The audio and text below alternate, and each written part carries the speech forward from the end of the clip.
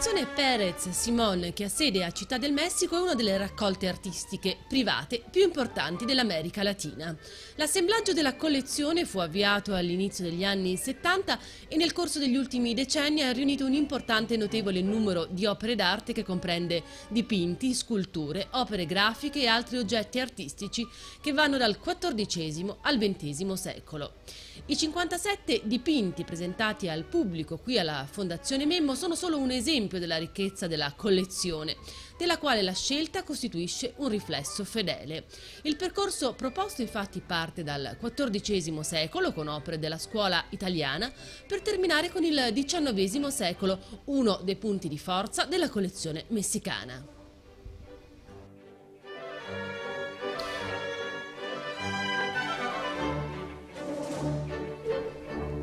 L'itinerario si apre con i dipinti italiani e tedeschi dal XIV al XVI secolo con opere di Spinello Aretino, Benvenuto di Giovanni, Bronzino e Luca Cranach il Vecchio, rappresentato da due tavole, una di esse intitolata La Carità.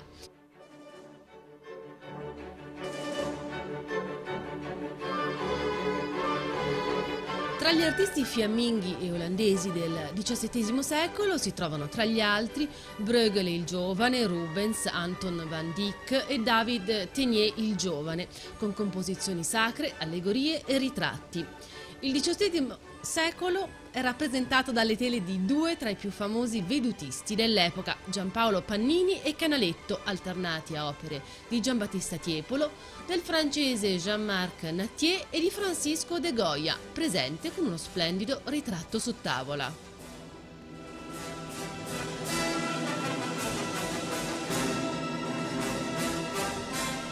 Il XIX secolo è stato suddiviso in tre sezioni, accademismo e realismo, pittura vittoriana, impressionismo e post-impressionismo.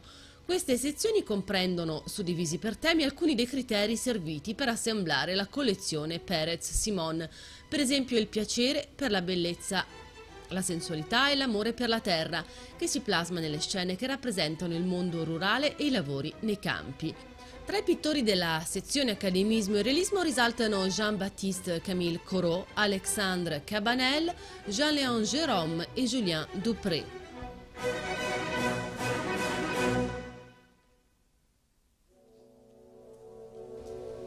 Il mondo vittoriano e la sua estetica, una delle sezioni più affascinanti per la quantità e la qualità delle opere esposte, si esprime grazie a Dante Gabriel Rossetti, Sir Lawrence Alma Tadema, John William Waterhouse ed Henry Arthur Payne.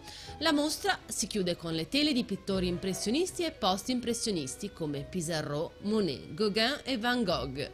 Con essi si chiude brillantemente il XIX secolo come pure il percorso espositivo che la Fondazione Memmo propone e che svela parte dei capolavori dell'importante collezione privata messicana.